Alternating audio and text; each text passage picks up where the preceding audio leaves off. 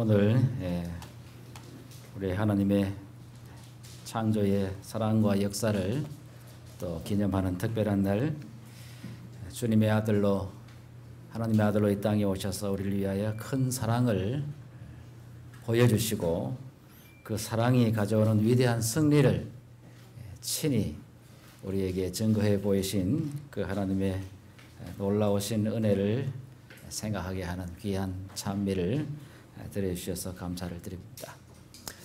아, 여러분은 뭐 이렇게 들으면 잘 기억하십니까? 예, 돌아서면 잘 잊어먹지 않습니까? 잘 안 잊어먹으세요? 아, 잘 잊어버리세요? 예. 우리가 주워 듣고 배우고 한 거 다 기억하면 이 세상에서는 머리 터져가지고 죽습니다. 그래서 때로는 좀 잘 잊어버리고 또 망각하는 것도 축복 중에 하나입니다. 어떤 분이 책에서 그런 글을 썼습니다. 사람은 참 이상하다. 왜 이상한가? 사람은 젊음을 희생시켜서 물질을 쌓는데 반평생 이상을 투자하다가 그 과정에서 늙고 병들고 스트레스 많이 받고 왼수 많이 만들어서 그래서 얻은 질병을 치료하기 위해서 인생의 후반전에는 생명을 건강을 희생해서 쌓은 물질을 아낌없이 팔아치워서 잃어버린 건강을 되찾으려고 열심히 애를 쓰다가 간다. 이렇게 표현을 하고 있습니다. 맞습니까? 에, 오늘 우리 환우로 오신 분들 또 이 아프신 분들 아프기 전에 예방하기 위해서 또 선교사가 되기 위해서 이 자리에 오신 우리 제2기 세천사 우리 건강 세미나 우리 선교사로 또 준비되기 위해서 오신 우리 여러분들을 진심으로 환영합니다. 아, 이곳에서 진행되는 이 열흘간의 집회를 통해서 생명의 근원이 되시는 우리 하나님께서 친히 우리를 사랑하셔서 보여주신 위대한 복음을 체험하시고 또 그것을 나누는 위대한 사역을 위하여 준비되는 예, 소중한 아, 경험 또 과정이 되시기를 예, 간절히 바랍니다. 우리는 평생을 살면서도 또 한 이불을 덮고 살면서도 어, 왼수처럼 지낼 수가 있습니다. 한때 우리 국민들 사이에서 유행했던 유명한 이야기가 있죠.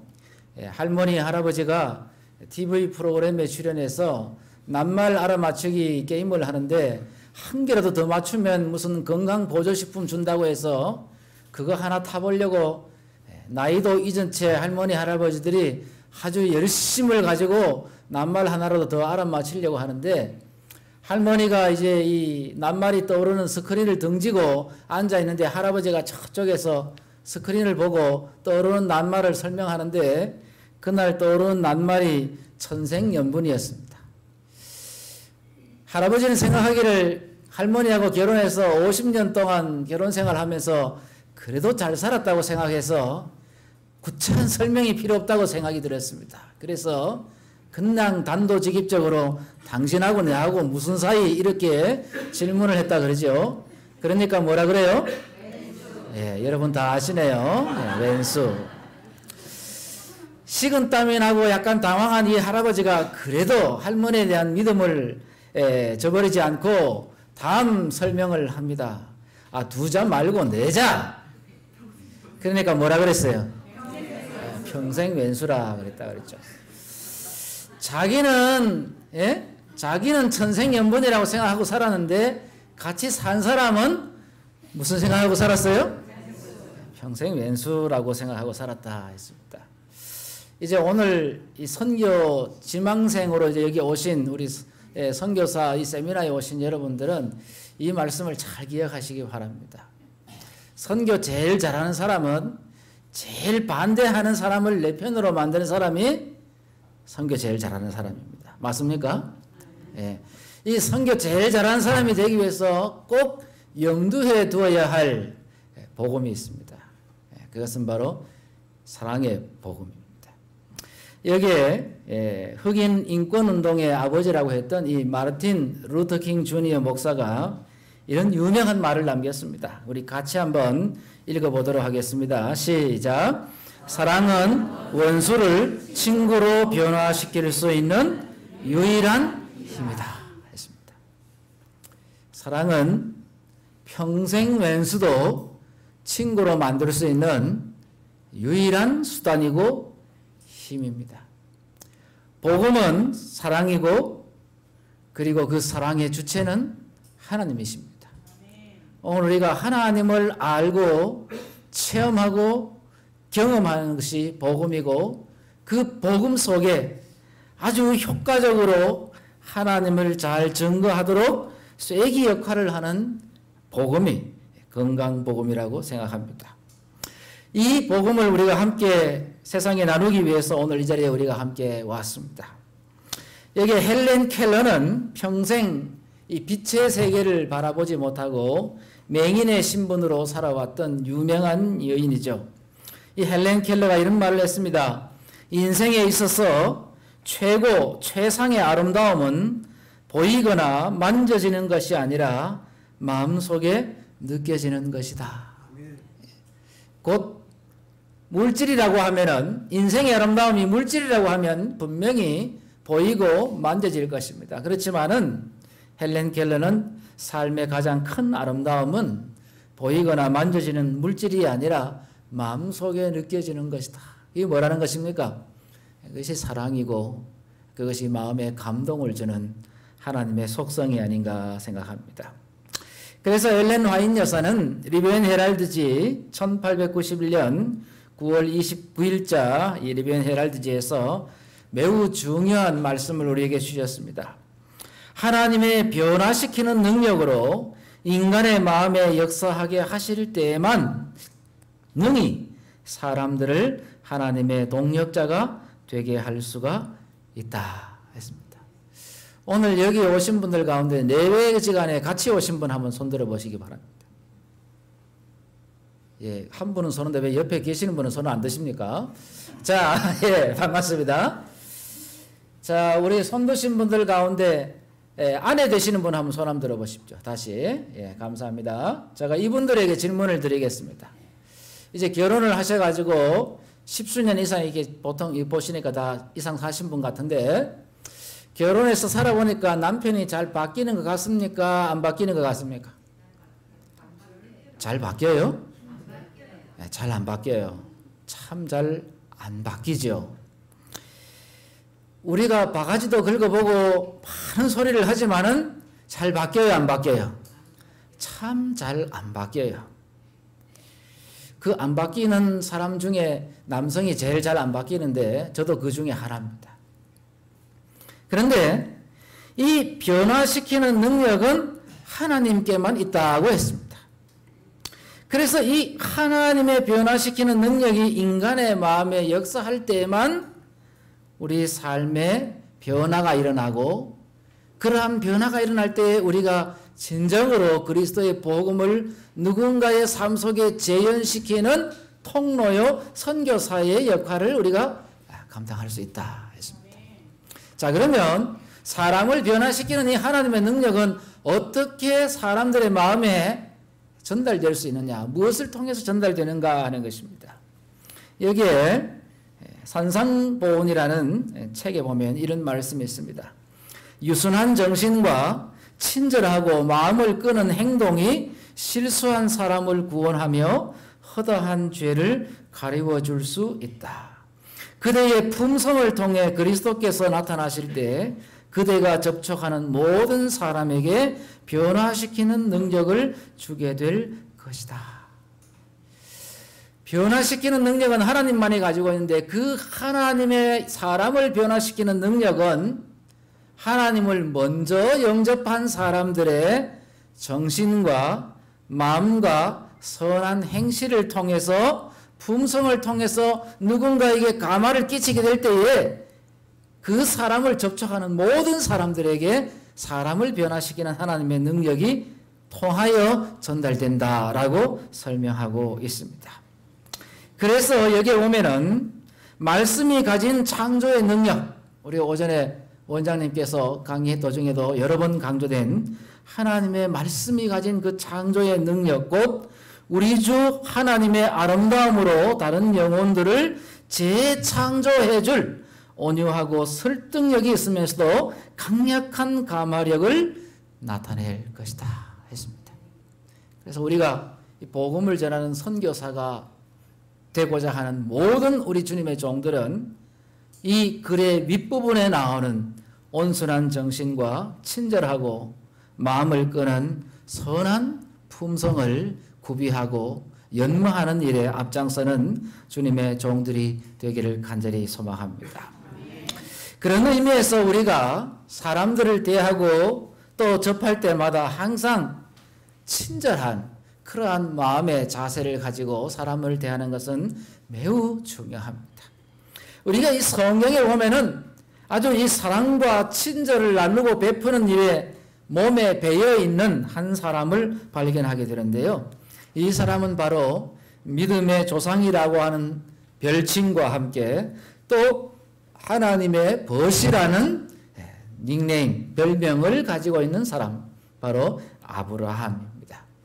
아브라함이 얼마나 이 친절하고 선을 베푸는 일에 아주 몸에 배어 있고 습관화되어 있고 품성화되어 있었던 사람인가 하는 것은 우리가 성경 창세기 기록을 보면 그 짧은 기록 속에서도 충분히 엿볼 수 있는 면모가 있습니다.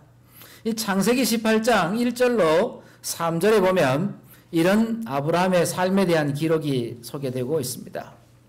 여호와께서 만물의 상수리 숲을 근처에서 아브라함에게 나타나시니라. 오정 즈음에 그가 장막문에 앉았다가 눈을 들어본 즉 사람 셋이 맞은편에 섰는지라. 그가 그들을 보자 곧 장막문에서 달려나가 영접하며 몸을 땅에 굽혀 가로되 내 주여 내가 주께 은혜를 입었사오면 원컨대 종을 떠나 지나가지 마옵시고 했습니다. 자 올해도 지금 예, 상당히 지금 기록적으로 더워지고 있습니다. 작년 여름에 기록적으로 더웠습니다. 어, 제가 살고 있는 이 대구 경산 지역은 작년 여름에 40도를 넘어섰습니다. 그래서 일기예보 관측 사상 가장 더운 어, 이 여름 기온을 갈아치웠습니다. 아마 올해 또 갈아치울 것 같은 염려가 듭니다. 점점 이 환경이 오염되고 어, 정말 이 지구가 이제 다 돼가는 것 같아요. 이렇게 더운 날씨에 낮 12시 가장 더운 시간입니다. 여러분은 작년 여름 정오 시간에 뭐 하고 계셨습니까?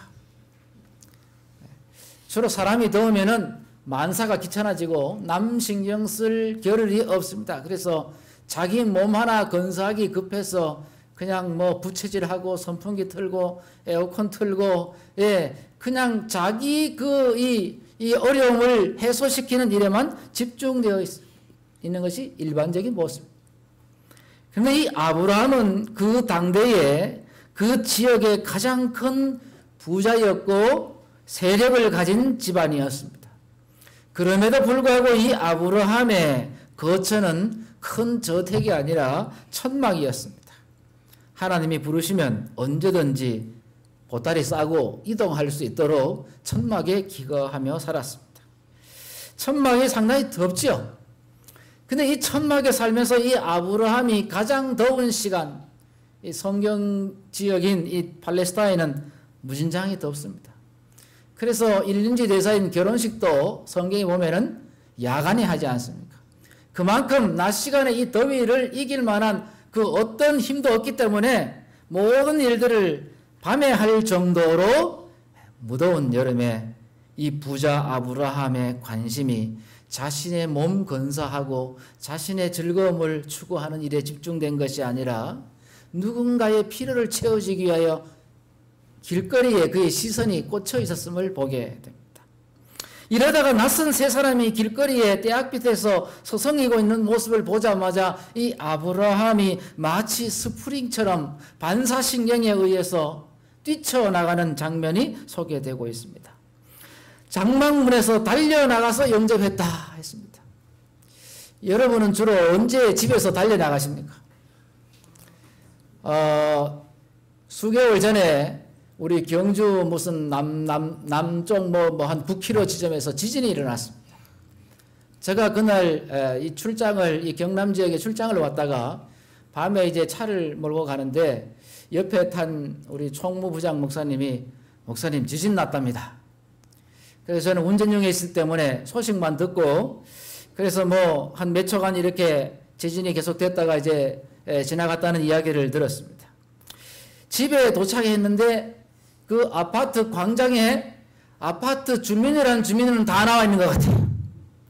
근데 제가 이렇게 차를 주차장으로 가면서 이렇게 보니까 전부 다 여기에 이렇게 뭘 하나씩 찼어요. 집에 있는 뭐 지갑, 뭐 폐물, 뭐 이렇게 통장 이런 거 하니까 다 챙겨가지고 이렇게 한 개씩 들고 전부 다 나왔어요. 그러면서 하시는 말씀이 우리 이제 집에 들어가도 되나? 사람이 집에서 뛰쳐나가는 거는 집에서 불이 났거나 지진이 났거나 뭐 이런 위급한 상황이 돼야 집에서 뛰쳐나갑니다. 그렇죠? 제가 군대에 갔다가 첫 포, 에, 휴가를 포상 휴가를 나와서 에, 새벽에 의성읍에 떨어졌는데 저희 고향은 의성읍에서도 한 30리를 더 들어가야 됩니다. 새벽 4시 반 됐는데 눈이 한 40cm가 왔어요. 그래서 택시를 기다려도 택시가 안 갈 것 같고 당연히 버스도 안 다닐 것 같고 군대에서 배운 게 걷는 거라 군화도 신었겠다. 그래서 그 새벽에 캄캄한데 30리 제를 넘어가지고 집에를 갔습니다. 한 5시 한 반경에 집에 도착했는데 어머니 하니까 저희 어머님이 정말 자다가 스프링처럼 뛰쳐나오셨습니다. 그런데 그것도 둘째 휴가 나오고 셋째 휴가 나오니까 밭에서 일하시다가 어머니 저 왔어요 하니까 어 그게 너 왔나 하고 그들도 보지도 않아 하시고 계속 고추를 따시 달려나간다는 것은 정말 반갑거나 정말 좋은 일이 생겼거나 아니면 정말 위험한 일이 생겼거나 둘 중에 하나입니다. 아브라함이 사람을 보고 달려나갔다 했습니다. 이것은 정말 사람을 사랑하고 어떠한 사람의 필요를 채워주기 위해 늘 갈급한 심령으로 살아가는 사람임을 보게 됩니다. 자, 이처럼 이 아브라함은 친절한 사람입니다. 낯선 사람을 강권하다시피 해서 집에 데려와서 씻을 물을 주고 소를 잡아서 극진히 대접하는 기록이 나옵니다. 뭐 전해지는 이야기에 면 광야에 사는 베두인들은 평생 세 번 목욕한답니다. 태어나서 하고 시집 장가 갈 때 한 번 하고 죽으면 하고 주, 이게 간답니다. 물이 귀하니까요. 근데 아브라함은 낯선 사람들에게 그 귀하디 귀한 물로 목욕을 시키고 음식을 장만해서 대접하는 친절을 베푸는 사람입니다. 아브라함이 100세가 되어서 약속한 후사를 봅니다. 갈대아 우르에서 35살의 부름을 받아서 하나님이 인도하시는 가나안 땅까지 가는데 바로 서쪽으로 이렇게 바벨론에서 서쪽으로 바로 이동하면은 사막을 가다가 다 죽기 때문에 북서쪽으로 이동합니다. 유브라데스 티그리스 강 상류 쪽으로 쭉 올라가는데 올라가다 보면 오늘날 터키 남부의 하란이라는 동네에 도착하게 됩니다. 거기서 지친 몸을 달래고 오아시스에서 물을 마시며 좀 쉬었다 간다고 주저앉은 것이 40년을 주저앉았습니다. 그래서 그의 나이 75이 되어서야 다시금 하나님의 부르심을 받고 떠나오게 되는데 그 갈대아 우르에서부터 하란까지 가고 또 하란에서 다시 팔레스타인 땅까지 가는 그 긴 여정에서 아브라함이 낮에 보는 것은 사막의 모래밖에 없고 밤에 보는 것은 하늘의 별밖에 없습니다. 근데 하나님은 걸핏하면 나타나셔서 너희 자손이 바다의 뭐처럼 많고 모래처럼 많고 하늘의 뭐처럼 많고 하늘의 별과 같이 많다. 그 세월을 99살 될 때까지 들었는데 그 언약을 계속 들었지만은 한 명도 안 태어나는 것입니다. 그런 가운데서 하나님이 100세가 되었을 때에 한 아들을 주셨습니다. 여러분, 100세에 얻은 아들은 어떻습니까? 정말 너무 귀합니다. 저는 38의 늦둥이 하나를 봤는데요. 이 아이가 학교에 가서 영어 시험 동그라미 큰 거 하나 받아왔는데도 전혀 안 믿더라고요. 늦둥이가 그런 것 같아요. 첫째 아이가 그렇게 큰 동그라미를 받아왔으면 반 죽여놨는데 이 늦둥이는 뭐를 해도 귀엽습니다. 예, 잠자는 것도 귀엽고 뭐 허튼 짓 하는 것도 귀엽고 어쨌든 저지레 하는 것도 귀여워. 근데 이 아브라함이 백세에 얻은 아들이니까 얼마나 소중하고 귀한 아들이. 근데 이 아들을 장성해서 이제 결혼을 시켜야 하는데 어떤 아내를 배필을 정해줄 것인가 하는 것은 중요한 문제였습니다. 그래서 이 아브라함이 어릴 적부터 자기 집에서 함께 자라온 노예, 가장 마음이 통하고 뭘 시키면 제대로 할 노예, 늙은 노예에게 자기 허벅지 밑에 손을 넣고 맹세를 시킵니다. 이 가나안 땅에서 하나님을 알지 못하는 규수로 자기 아들의 부인이 되게 하지 말고 우리 조상들이 오다가 잠시 쉬는 바람에 거기 주저앉아 있는 그 하란에 가면 하나님을 아는 백성들이 있는데 거기 가서 하나님을 알 만한 자들로 내 아들의 부인이 되도록 하는 신부감을 구해 오도록 부탁을 합니다. 자, 이 노예가 주인의 부탁을 받고 이 귀하디 귀한 집안의 자손을 어, 참 함께 조력할 이 집안의 규수를 데려오기 위해서 먼 여행을 떠납니다. 아브라함이 부자였기에 여러 마리의 낙타에다가 결혼 지창금과 비단과 폐물과 예물을 싣고 이동을 합니다. 막막하지요. 도대체 어디 가서 어떤 사람을 구해와야 될지 사명이 막중합니다.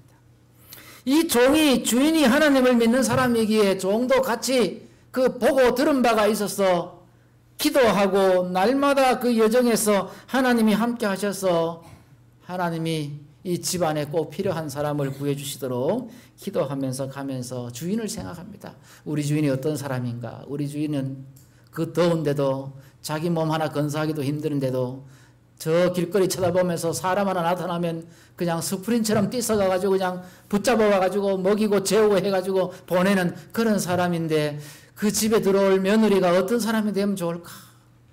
고민하며 기도하다가 그가 하나님 앞에 이렇게 서원을 합니다. 하나님 제가 주인이 시킨 동네에 가서 우물 옆에 잠복 근무하고 있다가 어떤 교수가 물 들어오면은 가서 내가 물 좀 달라고 하면 내가 부탁한 그 물 내게도 줄 뿐만 아니라 내가 끌고 가는 이 말 못하는 짐승들에게도 물 퍼주겠다고 하는 그 정도의 친절함 속성을 가진 사람이면 우리 주인 집에 잡으러 합격하지 않겠습니까? 그런 사람 좀 만나게 해달라고 기도를 합니다.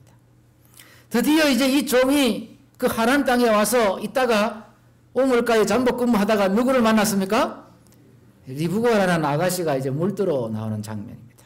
여기 창세기 24장에 여기 이런 기록이 있습니다. 종이 종이 이 아가씨가 물들어 나오니까 혹시나 하나님이 점지해 주신 분이 아닐까 생각해서 이 종이 마주 뭐 했다고 했습니까? 달려나가서 했습니다. 아브라함이 뭐 잘합니까? 달리기 잘하는. 그 주인이 달리기 잘하니까 종도 뭐 잘해야 됩니까? 달리기 잘해야 됩니다. 그 원장님이 건강보험 가르치는데 여기 스태프들이 다 건강 전문가들이 되지 않겠습니까? 또 여기서 배운 분들이 다 이 사회 국가에 나가서 어, 이 건강보험의 대가들이 되시기를 간절히 바랍니다. 아브라함이 달리기 잘하니까 이 종도 달리기를 잘합니다. 그래서 쫓아갑니다. 가서 그 아가씨에게 질문을 합니다. 내게 물 항아리에 물을 내게 조금 마시오라. 그렇게 말하니까 이 아가씨가 어떻게 반응합니까? 주여 마시옵소서 하고 급히 그 물 항아리를 손에 내려 마시게 하고 있습니다. 자, 여러분 물 항아리 내려가 물 한 컵 주는 거 그거 뭐 대단한 대단한 선행입니까 아닙니까? 어떻습니까? 그 정도는 여러분들이 다 할 수 있습니까? 예, 제가 조금 이야기를 하고 난 다음에 이 질문을 다시 드리겠습니다. 오늘날 우리가 뭐 성지순례 가면은 다 왜곡돼 가지고 다 엉터리입니다. 엉터리지만은 그러나 그 지역이 가지고 있는 환경적인 여건이나 이런 것들은 우리가 성경 말씀과 함께 유추해 볼 수 있는 많은 힌트를 줍니다. 어, 제가 지금으로부터 한 20여 년 전에 성기순례를 처음으로 할 때에 무기또라는 곳을 방문했습니다. 거기 가면은 성경에 나오는 이스라엘의 세 번째 왕인 솔로몬 왕이 하나님의 명령을 어기고 하나님이 다 이스라엘 지켜줄 테니까 하나님이 뭐 하지 마라 그랬어요. 그 병거를 많이 만들고 전쟁에서는 말을 군말을 예, 양성하지 마라 많이 두지 마라 하나님이 나라를 지켜줄 거니까 그런 거 기르지 마라 했는데 이 솔로몬이 어떻게 했습니까? 하나님의 지침을 어기고 전쟁에 사용할 말들을 기릅니다. 그 말들을 기르는 병거성이 있었는데 그것이 무기도. 근데 그 무기도에 가면은 오늘날 고고학자들이 우물을 이제 고고학자들이 땅을 파가지고 우물을 발굴해 놨습니다. 그리고 우물 직경이 한 50m 정도 됩니다. 그 50m 되는 땅을 동그랗게 파가지고 경사로를 따라서 계속 파내려 갑니다. 언제까지요? 물 나올 때까지 팝니다. 그래서 물을 길르려면 이 경사로의 흙이 계속 이렇게 흘러내리기 때문에 이 경사로를 따라서 돌로 축을 박아가지고 길을 만듭니다. 이 길이 나선, 나선 형태로 빙글빙글 돌아가지고 이렇게 내려갑니다. 그러니까 물 항아리, 한, 항아리 이렇게 길러 올리려 그러면 그 대학 밑에서 빙글빙글 돌아가지고 내리고 내리고 내리고 내리고 쭉 밑에 가지고 물을 한 바가지 이제 길러가지고 어떻게 합니까? 항아리에 이고 숨이 끝이 차오르는데 헉헉 하면서 이렇게 올라오는 그 수고를 한번 상상을 해보시기 바랍니다.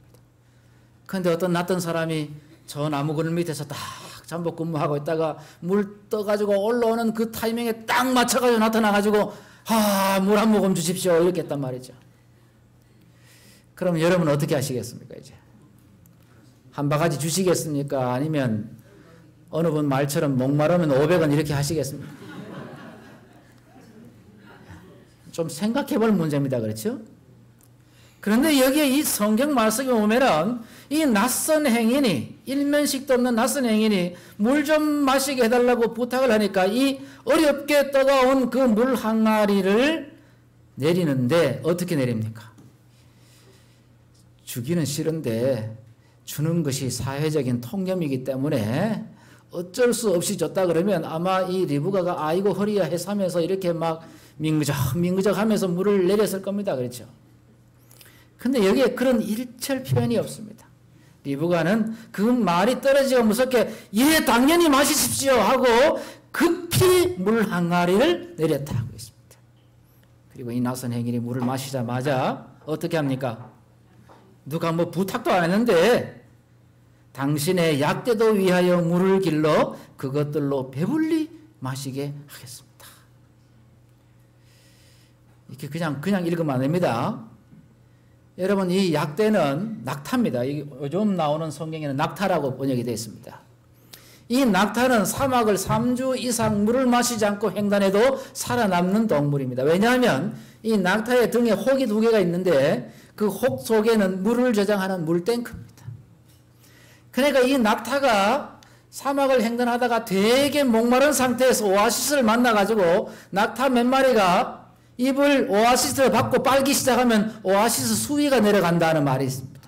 그 정도로 물을 많이 마십니다. 그러니까 평균 한 마리당 두 마리 이상씩의 물을 마십니다. 아브라함이 부자였기 때문에 줄잡아 좋기 네 마리 이상의 결의로 된 낙타를 예물과 예단을 싣고 갔으라고 상상할 때에 네 마리만 쳐도 물 몇 마리를 길러 올려야 됩니까? 배불리 마시게 하려면 여덟 마리 이상을 물을 길러 올려야 되는데 그 대학 밑에서 그 일면식도 없는 낯선 행인의 짐승을 위해서 물을 두 시간 정도의 중노동으로 물을 길러 올리는 이 수고를 기꺼이 하겠다고 자청하고 나서는 이 아가씨는 도대체 일을 겁내는 사람이 아닙니다. 누군가의 필요를 채워주는 일을 삶의 사명으로 생각하며 살아가는 사람임에 틀림이 없습니다. 그래서 이 리브가가 어떻게 합니까? 이 말을 한 다음에 급히 근물 항아리 나선 행인에게 주고 남은 물을 어떻게 합니까? 물 구유에다가 붓고 항아리에다 붓고 어떻게 합니까? 다시 물을 기르려고 우물로 어떻게 했다고 그랬습니까? 아브라함이 뭐 잘한다고요? 달리기. 그 종이 뭐 했습니까? 달려가고. 근데 그 집 며느리 될 이 규수가 어떻게 합니까? 달려갑니다. 막 발이 안 보일 정도로 달려갑니다. 선을 행하는 일에 제바른 사람이 되시기를 간절히 바랍니다. 여기에 부조와 선지자 574쪽에 이런 말씀이 있습니다. 작은 친절을 충성스럽게 하고 친절하게 수행한다면 인생길은 즐거워질 것이다. 지상에서 우리의 사업이 끝날 때에 작은 의무들 하나하나마다 결코 소멸될 수 없는 선한 가마를 끼쳤음이 판명될 것이다. 여러분 누구에게 전도했는데 참 말 안 듣는 사람 있습니까? 그런 사람 있습니까? 제가 어느 교회에 가서 이 선교용으로 책자를 헌납하는 이 시조 보내기 운동 그거를 이제 하기 위해서 주말 부흥회 집회를 갔는데 집회를 마쳤는데 어떤 성도님이 한숨을 푹푹 쉬면서 저에게 넋두리처럼 이런 말씀을 하세요. 목사님 오늘 말씀은 참 좋았는데 제가 갈등이 좀 있습니다. 뭐, 뭐 때문에 그렇습니까? 하니까 제가 어떤 친구에게 지금 시조를 15년째 보내고 있는데 이 친구가 15년 정도 좀 받아가지고 읽었으면은 좀 변화가 돼가지고 이때 좀 교회도 좀 나오고 이렇게 해야 되는데 아직도 끄떡도 안 하고 있습니다. 근데 제가 오늘 말씀은 참 좋았는데 내가 원래 또 시조를 또 보내야 될지 말아야 될지 갈등이 생깁니다. 그럴지라도 보내십시오. 우리가 이 땅에서 어떤 사람을 변화시키는 하나님의 도구로서 누군가에게 선을 베푸고 사랑을 나누고 할지라도 눈에 보이는 가시적인 변화나 반응이 이르러오지 않는 때에 우리는 실망하거나 또 그래서 그것을 중단하려고 하는 충동을 받을 때가 많이 있습니다. 그러나 여기 부조와 선제의 말씀은 그러한 피고로 피로도가 높아가는 우리들에게 매우 소중한 말씀을 주고 있습니다. 작은 일을 충성스럽고 친절하게 행한다면 그 효과가 결코 소멸되지 않았다는 사실을 이 지구 역사의 마지막 날 우리가 하늘나라로 승천할 때에 우리 하늘나라에 가게 되면 우리가 인생길에서 했던 그 작은 선행의 결과가 영향력이 소실되지 않았다는 사실이 판명될 것이다. 가끔 어떤 분들이 성교를 강조하기 위해서 이렇게 와가지고는 예언의 신 가운데 아주 희한한 예언의 신 구절을 뽑아가지고 사람들에게 긴장과 부담을 팍팍 주는 말씀을 하실 때가 종종 있습니다. 그 중에 하나가 우리가 하나님에 가면은 예수님께서 우리에게 면류관을 씌워주시는데 그 면류관에 뭐가 달린다고 그래요? 별이 달리는데 무슨 숫자만큼 달린다 그럽니까? 예? 영혼구원 숫자만큼 달린다 그랬는데 여기 저기 오신 우리 교인들이나 또 뭐 일반 교회 다니신 분들 가운데 나 아직도 한 명도 영혼구원 교회 인도 못하신 분 한번 손들어 보시기 바랍니다. 그 창피해서 못 드시면 손가락 하나만 드셔도 됩니다. 예. 이 말씀은 이분들을 위해서 기록되어 있습니다. 우리가 당장 내가 어떤 교회에서 또는 어떤 일정한 시간 동안 어떤 사람을 인도해가지고 가시적으로 침례를 받고 교인이 되게 하는 그러한 일이 내 생에 없다 할지라도 내가 길을 가다가 나선 행위에 짐을 들어주고 때론 아파서 힘든 분들에게 가서 찜질을 해주고 말벗이 되어주고 말씀을 읽어주고 건강식을 한 끼라도 해드리고 이렇게 우리가 했던 그 선한 그 친절 그 사랑의 행위에 대한 감화력이 소멸되지 않았다는 사실을 우리가 하늘나라에 가면 알게 될 것이다.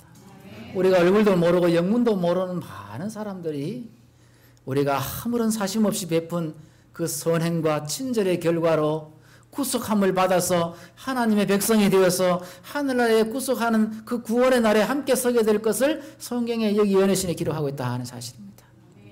그렇기 때문에 뭐 하지 말라는 것입니다. 선을 행하되 낙심하지 말지니 피곤하지 아니하면 때가 이름에 뭐 하리라 거두리라 했습니다. 미국 캘리포니아에 가면은 데스밸리라고 한 데가 있습니다. 죽음의 계곡입니다. 왜 죽음의 계곡이냐면 거기 사막입니다. 허허벌판에 돌만 있고 산에 나무 한 포기도 없는데 그냥 메마른 대지입니다. 그래서 죽음의 골짜기라고 해서 데스밸리입니다. 근데 요즘 이제 환경이 이렇게 오염이 심해서 이렇게 기후가 바뀌어가지고 어떻게 헷가닥 해가지고 사막에 뭐가 와버렸어요? 비가 와버렸어요. 비가 왔는데 비가 온 지 한 며칠이 지났는데 그 데스밸리에 꽃이 피는데 형형색색의 꽃이 피어서 아주 그냥 총천년색의 꽃 색깔로 그냥 완전히 뒤덮여 버렸어요. 사람들이 관광버스를 맞춰가지고 죽음의 계곡에 구경을 오기 시작합니다. 학자들이 말하길 그 죽음의 계곡에 씨앗이 100년 전에 뿌려진 씨앗이 땅 속에서 뭐 하다가 기다리고 있다가 때가 차니까 하늘에서 하늘에서 생명의 에너지가 예? 비가 내리 쪼이니까 어떻게 됐다는 것입니까? 때가 이름에 싹이 트고 꽃이 피고 열매 맺는 그러한 회복, 놀라운 생명의 도약이 이루어졌다는 사실입니다.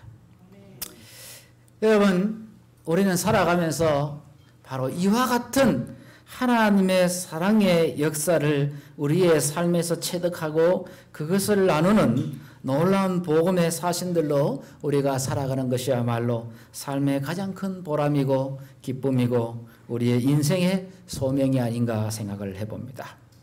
미국의 유명한 의과대학이 있는데요. 그 중에 하나가 존스 홉킨스라고 하는 유명한 병원이 있습니다. 이 예, 존스 홉킨스 병원에 가면 이 병원에 근무했던 의사 선생님들 가운데 인류 의학 발전에 크게 공헌한 유명한 의사 선생님들의 초상화가 걸려 있는 명의의 전당이 있습니다. 거기에 초상화 중에 하나가 이 하워드 켈리라고 하는 산부인과 의사 선생님의 사진입니다. 이 하워드 켈리는 의과대학을 다닐 때 아주 가난한 고학생이었습니다. 너무 가난해서 공부하다가 수시로 재무실에 불려가서 공납금 언제까지 낼 거냐 독촉받고 또 언제까지 안 내면 수업 못 듣게 하겠다는 그러한 질타를 받는 것이 태반사였습니다. 그래서 유명한 훌륭한 의사가 되어서 가난한 사람들을 진료하고 그래서 생명을 구하는 일을 하겠다는 그의 숭고한 삶의 목표가 공납금 독촉 때문에 자꾸 이렇게 예, 이렇게 예, 찐빠를 맞으니까 아이고 막 이제는 막 의사고 뭐고 다 집치우자 이런 생각이 들 정도로 인생의 회의를 시간을 보내게 됩니다. 그러나 어쨌든 학업을 마쳐야 하기 때문에 켈리는 방학 때 많은 학생들이 휴가를 떠나고 피서지를 떠날 때마다 켈리는 도매 시장에 가서 생필품을 도매 가격으로 떼서 큰 자루에 담고 그것을 끌고 그때 학비때서 집집마다 방문하면서 물건을 팔아서 학비를 버는 고학생이었습니다. 잘 사주지도 않을 뿐만 아니라 또 어렵게 어렵게 물건을 판 돈으로 어디 가서 제대로 식사하기도 아까워서 굶는 것이 태반사였어요. 그래서 하루는 너무나도 굶어서 정말 하늘이 노랗고 에너지가 다 떨어져서 기력이 세서 막 죽을 것 같은 그런 생각이 들었어요. 그래서 이 켈리가 마음에 작심하기를 내가 다음 집에 노크를 해서 만약에 문이 열리면 내가 문 열리면 뭐 이유 이유 이유야를 불문하고 물건 소개하지 않고 내가 창피하지만은 제발 내가 죽게 생겼으니까 먹을 것 좀 달라고 구걸을 해야 되겠다고 생각을 했습니다. 이렇게 작심을 하고 그 다음 집에 가서 문을 두드렸는데 문이 삐끔 열리는데 어떤 젊은 아가씨가 나오는데 이쁘던 너무 이쁜 아가씨가 나오는 것입니다. 그러니까 이 젊은 총각이 순간적으로 그 아리따운 아가씨를 보는 순간 차마 거기다 대놓고 빵 좀 달라는 소리가 안 나와서 응격거에 둘러댄다는 것이 제일 쉬운 소리가 뭡니까? 물 있으면 물이나 한 컵 주십시오. 이렇게 둘러댔습니다. 이렇게 말을 했는데 이 아가씨가 낯선 이 젊은 사람을 딱 보니까 한눈에 봐도 며칠 굶은 사람. 그냥 손가락 툭 치면 그냥 쓰러질 것 같은 그런 사람. 그래서 거실에 들어오게 한 다음에 냉장고에 가서 시원한 우유를 피쳐 주전자 컵에다가 잔뜩 담아가지고 이 젊은이에게 대접을 했습니다. 켈리가 그 마지막 한 방울까지 다 마신 다음에 정신을 차리고는 이제 체면이 이제 생기기 시작합니다. 그래서 이 주머니에서 물건 사고 이렇게 거스름돈 주고받으면서 이렇게 받았던 그 때 묻은 종이 지표 몇 장하고 동전 몇 개를 손에 쥐고 만지작 만지작 하면서 떨리는 목소리로 하는 말이 내가 오늘 이 극진한 대접에 대해서 내가 어, 얼마만큼의 사례를 하면 좋을지 질문을 했어요. 그러니까 이 아가씨가 환한 미소를 지으면서 하는 말이 우리 어머니가 어렸을 적에 우리를 교육시킬 때에 누군가에게 친절을 베푼 것에 대해서는 사례를 받지 말라고 했다. 그러니까 그냥 맛있게 드셨으면 그것으로 족합니다. 그 집을 나서는데 그 인생의 회의감을 가지고 힘겹게 물건을 팔러 다녔던 그 똑같은 거리고 똑같은 도시고 똑같은 하늘인데 세상이 전혀 다른 세상처럼 느껴지기 시작했고 켈리의 마음에 큰 감동을 받았습니다. 열심히 공부해서 세계가 자랑하는 유명한 산부인과 의사 선생님이 됩니다. 한편 이 우유를 대접했던 이 아리따운 아가씨 젊은이로 하여금 빵 달라는 소리를 물 달라는 소리로 바꾸게 했던 그 미모의 아가씨는 원인도 모를 질병에 걸려서 시름시름 앓기 시작합니다. 바싹 말랐어. 이 젊은 여인이 마치 7, 80된 노인들보다도 더 늙어 보이는 미라처럼 피골이 상접한 모습으로 쪼그라들었습니다. 내노라는 병원 다 둘러봤지만 원인도 없고 처방도 없었습니다. 보다 못한 의사 선생님이 딱 해서 내가 아는 최고의 의사니 추천서 쓸 테니 거기 한번 가보라고. 마지막으로 거기 한번 희망을 한번 걸어보라고. 요즘 같았으면 이렇게 이 베델 수양을 해 왔으면 좋은데 그 당시에는 뭐 그런 것도 없어요. 그래서 이 여인이 자기 가산 있는 거 남은 거다 털어가지고 여비 마련해가지고 물어 물어 그 추천서를 가지고 병원을 찾아갔는데 그 병원이 존스 홉킨스 병원이었고 담당 의사가 켈리 박사였습니다.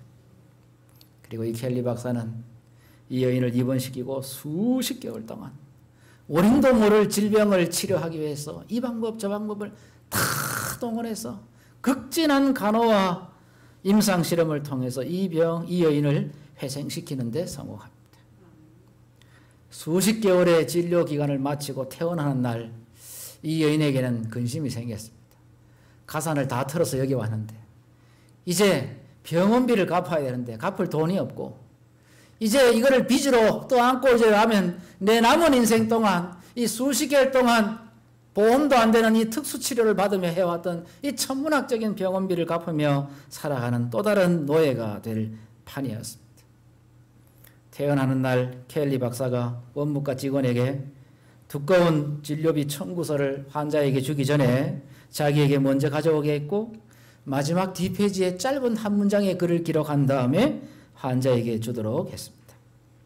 환자가 한 장 한 장 진료비 청구서를 넘길 때마다 얼굴이 사색이 되어가고 그 액수는 천문학적으로 불어갑니다. 그러나 마지막 뒷페이지에 마지막 아랫부분에 친필로 기록된 한 문장을 보는 순간 진정한 자유를 경험하게 됩니다. 거기에는 이런 말이 기록되어 있습니다. 그날 저에게 주었던 우유 한 컵으로 모든 병원비는 다 지불되었습니다. 사랑은 꼭 나에게 돌아올 것이라고 베푸지는 않습니다. 불특정한 누구에게 사심없이 베푸는 친절이지만은 결국은 그 친절이 자신에게로 돌아오는 결과를 가져오게 되었습니다. 카를 구스타프 융이라는 이 정신분석학의 아버지라고 하는 유명한 심리학자가 있습니다. 이분이 이런 말을 했습니다. 한 권의 책은 식견이 있는 교사에게 인식을 가져다 주지만 우리 인간의 감정에 감동을 준 사람에게는 감사의 마음을 돌려준다. 교과목은 아주 필요한 아직 익지 않은 날 것들이다. 그러나 따뜻함은 어린이들의 영혼에 식물들이 성장하게 하는 핵심적인 요소이다. 오늘 우리 아침에 우리 원장님 강의 시간에 씨앗은 뭐를 가지고 있고 생명을 가지고 있고 땅은 뭐를 가지고 있습니까? 능력을 가지고 있는데 그렇다 할지라도 뭐가 없으면 예? 하늘로부터 내려오는 은혜가 없으면은 그렇죠? 여러분 아무리 우량 품종이 아무리 거름지고 기름진 땅에 묻혀 있다 할지라도 온도가 영하면 어떻습니까? 천년 만년 그냥 그대로 있습니다. 뭐가 이르러 와야 됩니까? 하늘로부터는 온기가 있어야 그것이 그 씨앗으로 하여금 그 생명으로 하여금 자라고 싹트고 열매 맺고 결실케 한 수 있다 하는 것입니다. 하나님께서는 오늘 우리들에게 당신의 품성의 속성, 사랑을 당신의 아들을 통해서 우리에게 증거해 보이셨습니다. 그리고 나를 믿는 자는 죽어도 살겠다고 하셨고 내가 곧 길이요 진리요 생명이라고 말씀하셨습니다. 주님의 열망은 바로 오늘 이 땅에 생명과 건강을 팔아서 물질을 채우기 위하여 애쓰다가 결국은 물질도 잃고 생명도 잃으며 살아가는 우리 인간에게 하나님의 사랑의 속성을 통해서 영원히 살아 숨쉬는 위대한 생명을 우리의 삶 속에 재현하는 위대한 원리를 복음으로 주셨습니다. 그리고 그 복음을 실천함으로 우리의 삶의 그 놀라운 복음이 열매 맺고 재현되는 위대한 역사를 보기를 원하십니다. 오늘 그 위대한 사업을 위해서 이러한 수양원도 있고 또 이 수양원을 통해서 선교사를 양육하는 이 위대한 사업을 시작한 것은 매우 고무적인 일이라고 생각이 됩니다. 오늘 이 위대한 사역의 도구가 되기 위하여 지원하신 우리 모든 선교사 지망생 여러분, 하나님께서는 때때로 가장 큰 결과를 성취시키기 위하여 가장 단순한 방법을 사용하십니다. 그것은 바로 하나님이 가지신 그 독특한 사랑을 우리의 이웃들에게 나누어 주는 것입니다. 건강 기별을 통해서 건강한 삶의 원리를 실천하는 삶의 모본을 통해서 그 일을 이루어 나가시게 되기를 간절히 바랍니다. 이러한 선한 가마력의 파장은 그 진동은 땅 끝까지 울릴 것이며 영원한 세대를 통하여 아름다운 멜로디를 만들어 낼 것이다. 시대 소망 823쪽에 있는 말씀입니다. 오늘 말씀을 마치면서 위대한 왕이요 실패를 통해서 하나님을 경험했던 솔로몬 왕이 쓴 전도서 11장 1절 말씀입니다. 너는 내 식물을 물 위에 던지라. 여러 날 후에 도로 찾으리라. 우리의 삶에 움켜진 것으로 평가받는 우리의 삶이 아니라 받은 것을 나누어 준 것으로 평가받는 위대한 삶을 가꾸고 나누고 만들어가는 우리 모든 선교사 또 이곳에 오신 우리 환우 여러분들 되시기를 간절히 바라면서 오늘 말씀을 줄이도록 하겠습니다.